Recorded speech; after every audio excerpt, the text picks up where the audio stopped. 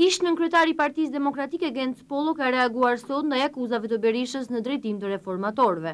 Në konferencën e djeshme për shtyp Berisha ka deklaruar se Pollo është mashtrues me pagesë, pasi reformatorët i përdor qeveria, ashtu siç përdori vjedhësit vullnetarë të Thesarit. Të gjitha këto akuza e kanë burimin në paraqitjen e një raporti të EDU-së, të cilën kreu i Partisë Demokratike e mohon krejtësisht. Por Pollo ka treguar sot se ky raport është mëse i vërtetë dhe u është paraqitur reformatorëve në rrugë zyrtare. Nuk merrem me akuza të tilla se ato dalin nga shkolla e Ramiz Alisë dhe ato janë një faqe e kaluar për vendin. Por raporti i EDU-së është, raporti i EDU-së na është dorëzuar zyrtarisht, është botuar edhe në media shqiptare. Mua më vjen keq që fraksioni i Berishës bie në këtë nivel.